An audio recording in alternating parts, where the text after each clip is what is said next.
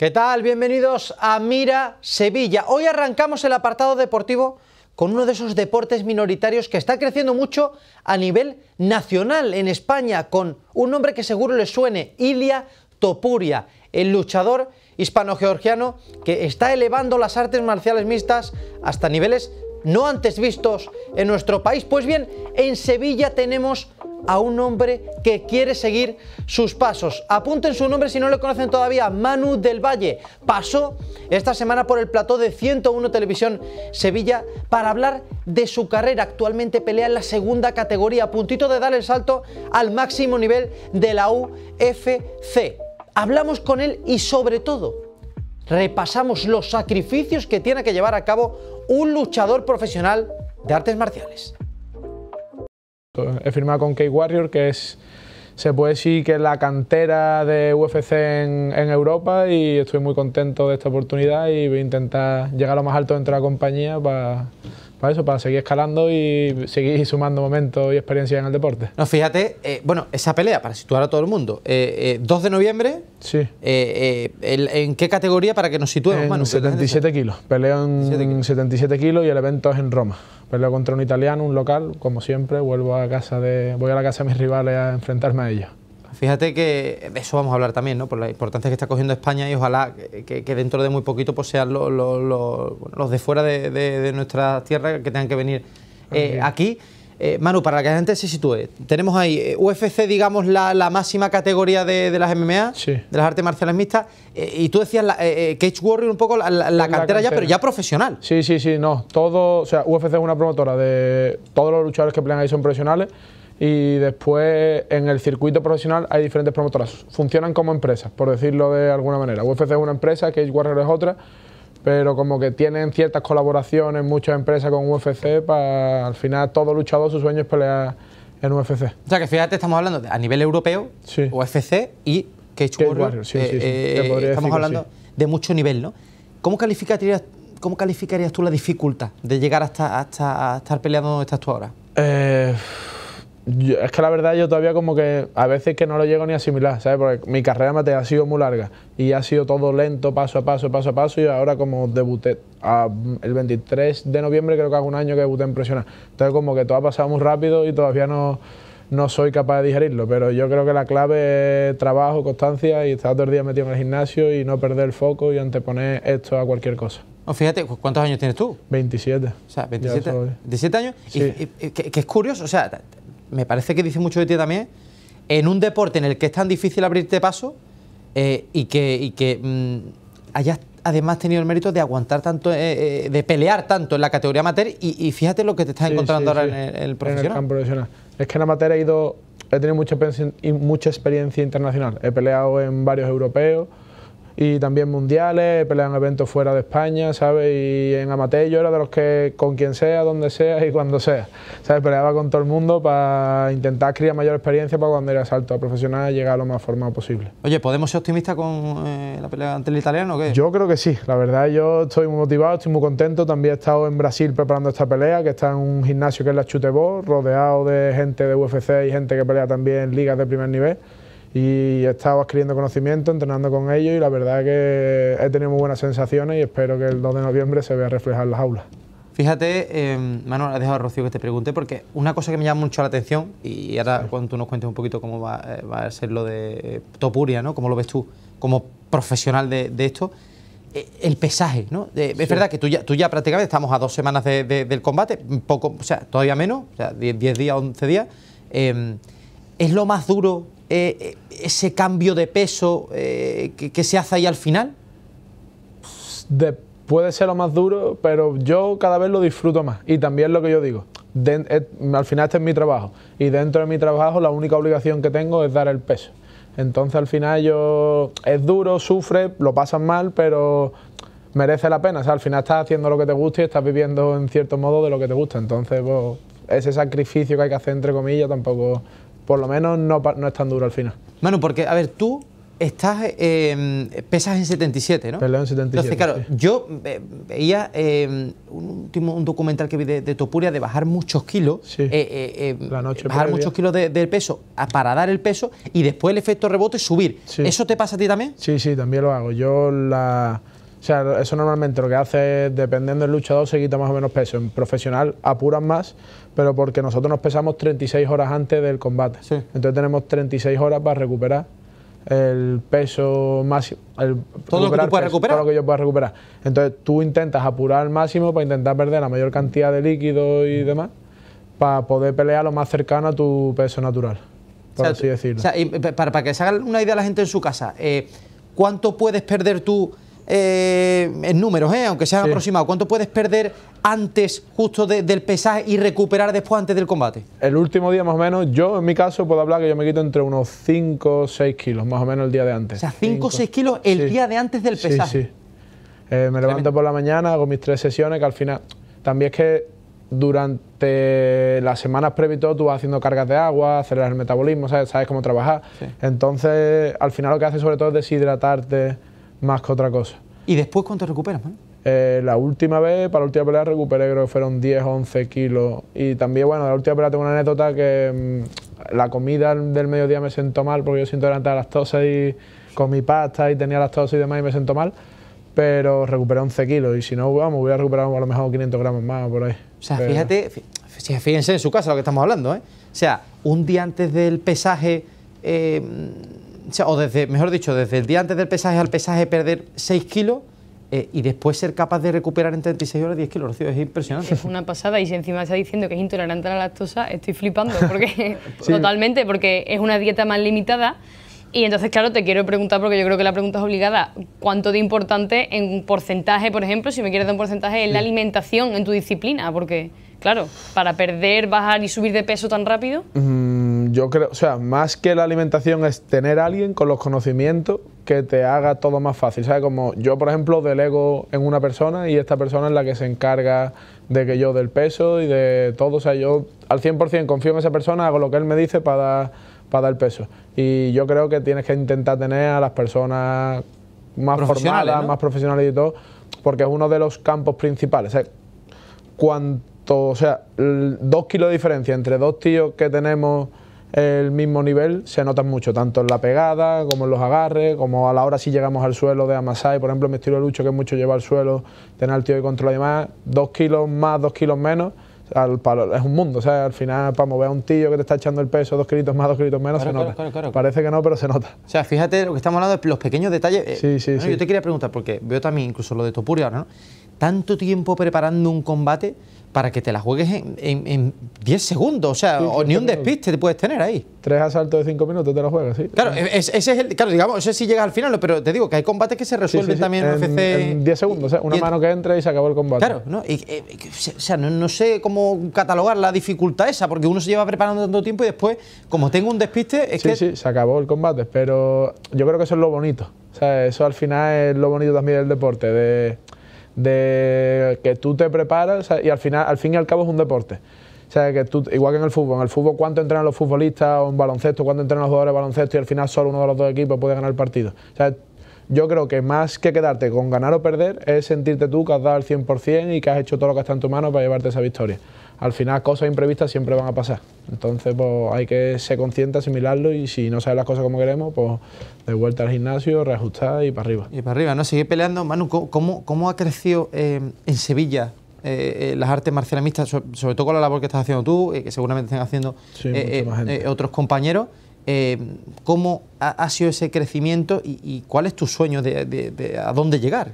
Pues el deporte yo veo que no para de crecer. O sea, yo, por ejemplo, este año, por ejemplo, esta temporada que empieza en septiembre más o menos, el circuito amateur se considera que empieza en septiembre. En el gimnasio se han apuntado un montonazo de chavales. Y además chavales en edades jóvenes. Y ya cuando Ilia ganó el cinturón en febrero, creo que fue, también se notó mucho en el gimnasio como que aumentó la gente. Y desde que yo empecé en 2017 ahora, el deporte ha crecido una barbaridad en cuanto a nivel de competidores, nivel de los competidores. Y ya España se puede decir que a nivel europeo estamos ahí al nivel y todo. Nos falta a lo mejor algunas cositas de infraestructuras y demás, pero no tenemos nada que envidiar a otros países. ¿Hasta dónde sueña Manu del Valle con llegar a este mundo? pues hasta donde tenga que llegar. Yo, me, yo soy de la filosofía del cholo, partida a partida. O sea, yo estoy centrado en el 2 de noviembre, si sale todo bien el 2 de noviembre, pues seguir creciendo dentro de Case Warrior y, pues no sé, la verdad, por ponerme un objetivo, pues me gustaría intentar el año que viene conseguir el cinturón de Case Warrior o algo similar, ¿sabes? O esto ya es un sueño que eso ya sí sé que es más complicado, pero por ejemplo traer Craig Warrior aquí a España, ¿sabes? Hacer un evento aquí. ¿Por qué no, Manu? Pero bueno, fíjate. familia. O estabas de, de, de, amateur, seguramente no sí, lo pensabas sí, lo pensaba, sí, sí, sí, sí. No había peleado nunca en Sevilla y en marzo WOW, que es la mejor compañía que aquí en España, hizo un evento en Sevilla y peleé, entonces, quién sabe. Te agradecemos enormemente, ha sido un placer tenerte aquí eh, esta noche y, bueno, que estamos muy pendientes, que tienes que volver ya cuando, cuando haya triunfo el próximo 2 de noviembre. ¿eh? Eso, pues muchísimas gracias.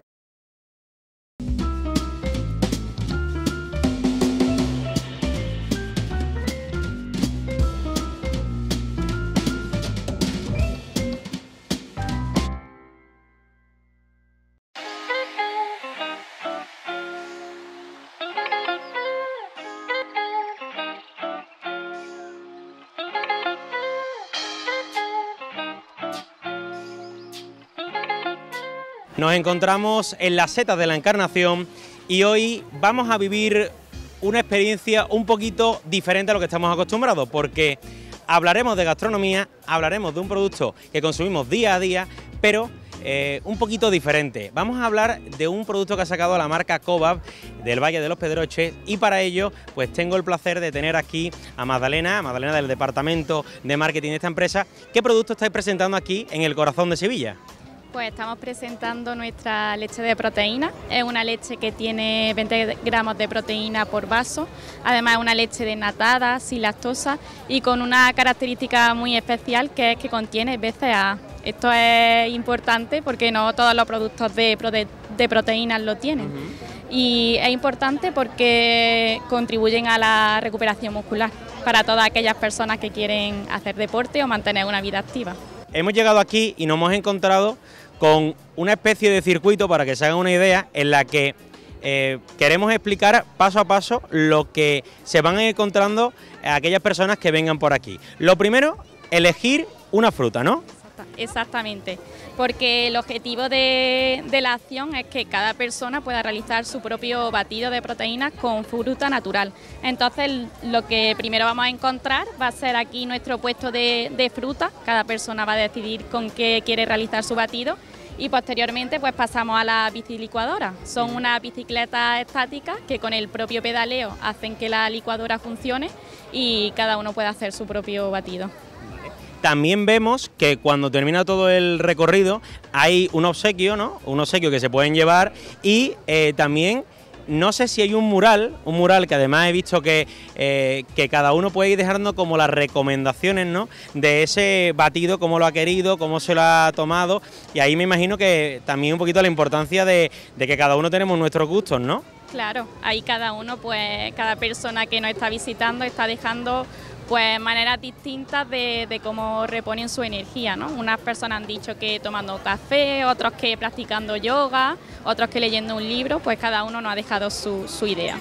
Y vamos a confesarlo, porque he venido hoy con mi compañera Alessandra, que por ejemplo, ella es intolerante a la lactosa, preguntaba, oye, ¿yo puedo tomar este producto? Y me ha dicho que sí, que no hay problema. Efectivamente, es una leche sin, sin lactosa para que el máximo número de personas puedan disfrutar de ella. O sea que eh, para que yo vaya haciendo mi croquis mental, mi, resumen, es una leche que, bueno, pueden tomarla aquellos que sean intolerantes a la lactosa que sirve para la recuperación muscular para los eh, deportistas y además, eh, bueno, que tiene ciertos atributos, ciertas características que son saludables, ¿no? Entonces, me tienes que decir si hay algo malo.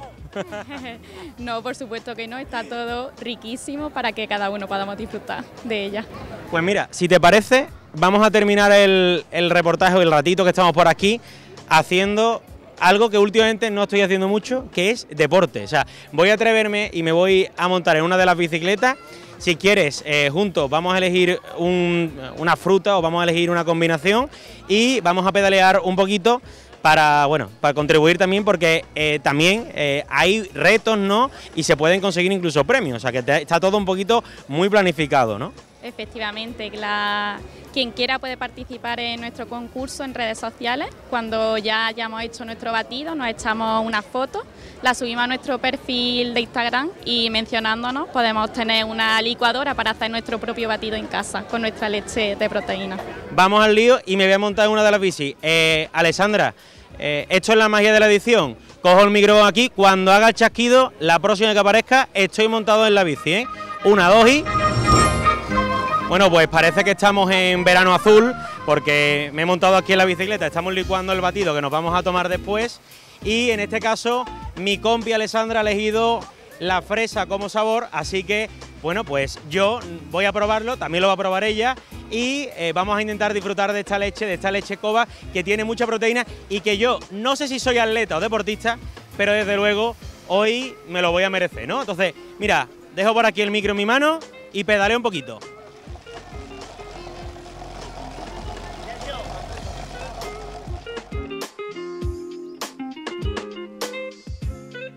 Bueno, pues este es el producto final que nos vamos a tomar. De hecho, eh, voy a hacer algo que no se puede hacer si eres periodista, que es soltar el micro para eh, tomártelo. Así que voy a dejarlo aquí el micro un momentito.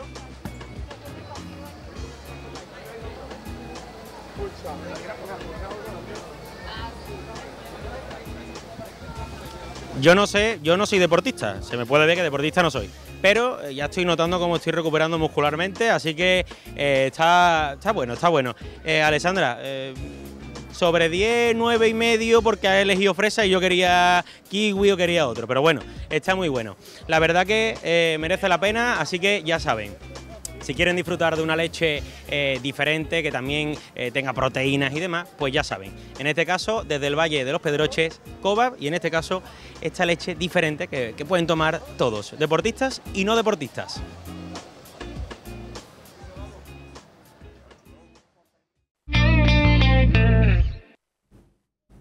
Las coronaciones canónicas han sido las protagonistas de la entrega de esta semana de Al Cielo. Tanto es así que ahondamos en las coronaciones que impuso el cardenal Amigo Vallejo desde finales del siglo XX hasta la primera década del siglo XXI. Lo cierto es que para ello estuvo de nuevo en esta mesa el querido Jesús Romanov junto a Francis Segura, Juan Manuel Bermúdez y José María Escudero para tratar todo lo relativo a este periodo de coronaciones donde también analizamos el significado de las coronaciones piadosas que así nos lo explicó Jesús Romanov.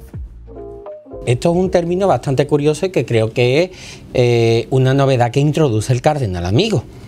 Y era una realidad a la, que, mm, a la que no estábamos acostumbrados. Yo recuerdo la primera vez que lo vi, eh, era un cartel de una hermandad que ponía proclamación canónica, que yo decía proclamación canónica, ¿qué es? Hasta que me enteré. Entonces, ¿en qué consiste esto?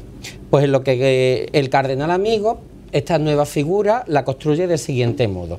Una imagen a la cual en un momento dado se le impone una corona en una coronación piadosa. Cuando hablamos de coronación piadosa, de lo que estamos hablando es de estas imposiciones de corona que se pueden hacer con toda la solemnidad del mundo, que puede ver, por ejemplo, la Virgen de Loreto, se la impone el propio cardenal Segura que no estamos hablando de un cualquiera, que es el propio Cardenal Segura y con una corona regalada por el Ejército del Aire, si mal no recuerdo, mm. y, que te, y que tuvo pues todo el bombo y el platillo que podía tener una, una coronación canónica, pero no está reconocida como tal. Pero sobre todo, tampoco estaba en el ánimo de aquellos hermanos que hacen eso en ese momento el hacer una coronación canónica. Eso es una imposición de corona, pero en el ánimo de ellos en ese momento tampoco estaba el, el hacer una coronación canónica. Sí, pero pero Jesús, tú sabes muy bien, nuestro querido pueblo de Alcalá del Río Sí. tiene parte de, de responsabilidad, podemos decir, en el nacimiento de este reconocimiento canónico. Sí. Porque en el 1996, cuando la, la Hermandad de la Soledad recibe la gracia de la coronación canónica de la Virgen de la Soledad, se pone en valor la coronación piadosa del 1971 a nuestra querida Virgen de las Angustias. Sí, exactamente. Y yo creo que el cardenal amigo, en su actitud siempre conciliadora, pues quiso tener una- un acto de justicia con los hermanos de Veracruz. Y lo que hizo fue que en el mismo año, como tú bien sabes, Sí. en junio coronó canónicamente a la soledad y en octubre, el 10 de octubre, reconoció canónicamente la, la coronación piadosa de la Virgen de las Angustias. Es decir, que a partir de ahí empieza toda la historia. Viene la Soledad de Saltera, mi querida Soledad de Gerena en el 74, y vamos, vamos viendo cómo van recibiendo el reconocimiento, y eso llega a Sevilla cuando, si no me equivoco mal, la Virgen de Gracia y Esperanza recibe la- el cincuentenario, celebra el cincuentenario ¿no? de la corona. Exactamente. sustraída. Entonces, la historia es la siguiente. Efectivamente. El cardenal amigo lo que, lo que viene a decir es que sí ha habido una, corona- una coronación piadosa que en su momento cumplía con todos los requisitos de una coronación canónica, bueno, pues vamos a darle ese rango de canónica. Pero claro, aquí nos encontramos en una situación que es un, que es un poco paradójica, en tanto en cuanto se consideran estas imágenes canónicamente coronadas, sí, por supuesto. Eso nadie lo va, lo va a poner nunca en duda. Ahora, en origen, cuando los hermanos le pusieron la corona, la había, eh, su intención era la de la coronación canónica o había, eh, o había este espíritu. No, era otra cosa. Por ejemplo, Hablábamos de que las coronaciones canónicas fueron una de las protagonistas de la noche del pasado miércoles, pero sin duda alguna el protagonista indiscutible de este programa fue el periodista deportivo y tan mediático Víctor Fernández, que se estrenaba precisamente en esta mesa, en este plató de 101, para debatir sobre la verdad y las mentiras en las cofradías. Así fue el pregón que le dedicó Alberto Álvarez y su posterior entrada triunfal. Muy triste, ¿eh? tengo que decirle a, la audiencia que estoy muy, muy triste. Y que todas las veces que uno se sienta aquí y lo presentan, como ha hecho el querido Curro, se acude en Sevilla a la denominada Ojana, ¿no? Uno dice aquí lo feliz que está de compartir plató con esta gente. Quiero decir públicamente que siempre he mentido, nunca ha sido el caso. De hecho, el señor Javier Abad me parece un auténtico payaso, con letras en, en mayúsculas. Pero hoy sí tenía ilusión de verdad por este programa. Estamos hablando de que en este programa he cobrado poco, mal y tarde. Eh, he quedado con Curro Bono en Rota y me ha dicho que estaba llegando cuando no había salido de Sevilla. Eh, solo he vivido malos momentos desde que tengo recuerdos en, en 101 y hoy venía una persona a la que yo admiro plenamente, porque eh, es alguien que lucha contra el periodismo capitalino desde la capital del mundo. Es alguien que llama a Paco Vélez en privado presidente y en público lo llama Francisco. Es alguien que cree que el mejor consejo para quien nunca ha ido a la feria de Sevilla es directamente no ir. Es alguien que con todo el dinero que ha ganado en su vida profesional, que habrá ganado mucho, no tendría para darle de comer a Yucatán. Y es alguien que cree que en el fútbol las alineaciones son lo de menos siempre que de fondo suene la centuria romana de la Macarena. Con lo cual, con este invitado que iba a estar aquí, yo pensaba de vuelta a mi casa pasar por una ferretería y comprar los clavos para el ataúd de la competencia, porque con este nivel de exigencia absolutamente descomunal no iba a haber nada que hacer. Pero bueno, que lo sepan en casa. Si después de estas palabras no aparece aquí Víctor Fernández, yo me levanto y me voy. Dale paso, Alberto. Además, con fuerza. Con altos decibelios. Para que se entere si está detrás de la puerta. Y si entra, si entra, nos ponemos de pie y aplaudimos. Por favor, no me dejéis solo, que es un invitado a la altura de este programa. Perfecto. ¿eh? Si, no, en- si aparece Cutiño con gafas y peluca, Vámonos. pueden- pueden desconectar la tele. Dale paso, Alberto. Querido Víctor Fernández, entre usted presentado al pueblo. ¡Yo! ¡Me Para mí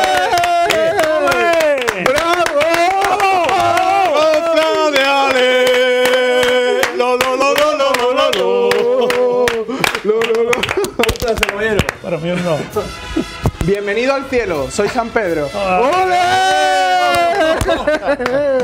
El verdadero Pilato. El verdadero Pilato. Víctor Señor, buenas Fernández, ¿qué tal? ¿Cómo Buenas estás? noches. Víctor. Invitado, un orgullo que me hayáis invitado a este programa de moda, ¿no? Bueno, Estáis de moda todos, ¿no? Bueno, siempre estás tú de moda. Porque no- no llevo tres años, llevo tres años apuntado en el WhatsApp personal de mi móvil traer a Víctor Fernández. Pues aquí estoy, es un día histórico para esta casa. Hoy, hoy ha costado un poquito de trabajo, pero bueno, hemos resuelto Pero, el problema. eh, Era cierto que has estado a punto de no venir. ¿no? Sí, sí, sí, sí. Pero bueno, dejémoslo ahí. Muy bien. Problemilla de última hora, pero afortunadamente se ha quedado en un, en un pequeño susto. Bueno. Por cierto, eso de la, eso que ha puesto la musiquita, esa de la potra salvaje, eso, eso ya es.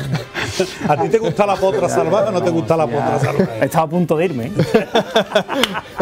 Estaba a punto de irme. Bueno, pero ahora está presentado a. Sevilla. Ahora está presentado. Sí, Que por cierto, como guiño podemos poner también el plato rojo, ¿no? Para la Sí, ocasión. un, po- un poquito. Un No, poquito fí- de- fíjate, si te das cuenta en la Pilato Torre tiene, del Oro... la Pilato Torre tiene mucho rojo. La Torre del Oro está iluminada por, por la nueva Europa League de Sevilla. Otro título ¿Alguna que otra? más. ¿Alguna que otra Ah, mira, esa es la foto. Sí, sí, sí, sí, sí esos fardones del Pilato, eso es.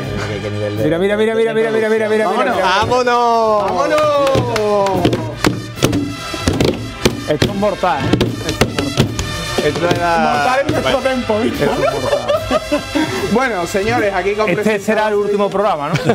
O el primero, quién Que, sabe. que, que llevamos creéis que es el último, ¿no? Digo, Oye, vuestro, digo, el programa vuestro. No, un orgullo, un orgullo que para mí. Te hemos escuchado siempre, siempre. Hombre, no casa, la de mis compañeros y que estés hoy aquí para nosotros es un honor y que también sigan los programas. Es un orgullo la pasión con la que le estáis, que le estáis poniendo al programa y tu juventud es, un- es una maravilla y el empuje y creo que, que nos gusta y nos ha enganchado. De todas formas en mi casa están, están, están temblando. ¿eh? Dice, ya media ciudad te quiere matar. Si va al programa de las cofradías no vamos a poder salir de casa. Se, se tápate un poquito, yo mío, que podamos ir al Mercadona. Tápate un poquito. Eh, qué bueno, qué Estoy bueno. nervioso, ¿eh? Estoy Qué nervioso. bueno. Bueno, me ha pedido, me ha pedido eh, que os sentéis al lado para la foto, así Porque que yo quería estar hoy a la derecha del padre de verdad, porque es un comentario que se dice mucho, en este programa, pero Yo creo que, Pero yo, escúchame, hoy está muy. selfie con Meme. Pero escúchame. Lleva- lleva dos semanas nervioso, ¿eh? yo, a ver, no, de hecho, a Alberto me quiere está- repescar esta temporada y yo digo que no, y me dice, voy a traer a Víctor Fernández y le digo que sí. Déjate de, déjate déjate de Ojana, de Ojana. Está Ojana, de, tela, de tela de Ojana sevillana de las tela de Ojana, cofradías. De Ojana- sevillana de las cofradías. Pero que ha venido por el selfie nada más, después le da igual, ¿eh? Ha venido por el selfie, le da igual, además. ciudad he visto, me ha mandado a curro, a mí no me interesa nada el presidente del consejo saludando al rey y demás, y me es totalmente indiferente. O sea, si me lo cruzara por la calle no le pediría una foto, pero al mudo Vázquez y a Víctor Fernández sí. Bueno, no digas eso. No digas. Por-